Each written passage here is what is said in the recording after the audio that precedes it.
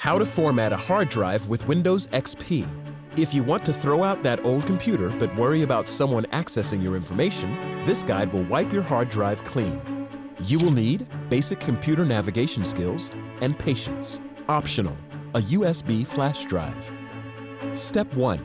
Backup important files or transfer them to your new computer before formatting the drive. Use a USB flash drive or your computer's recordable disk drive to back up your files. Step 2.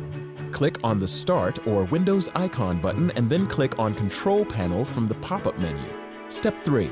Select System and Maintenance and then scroll down to click on Administrative Tools. Step 4.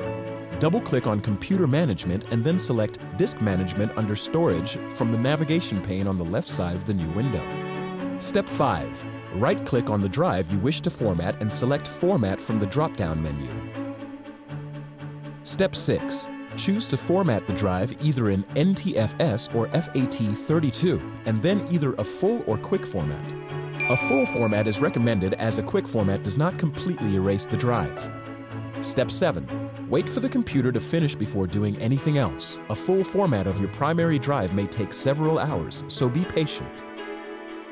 Did you know? A recent Gallup poll found that identity theft topped the crime concern list with 66% of Americans worrying they will be a victim.